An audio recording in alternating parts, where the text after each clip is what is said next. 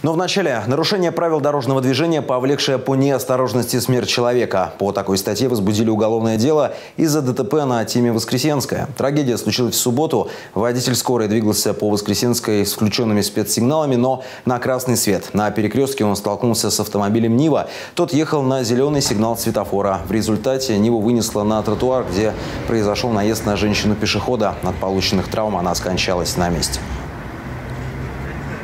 В ходе следствия будет установлена степень вины каждого из участников дорожно-транспортного происшествия.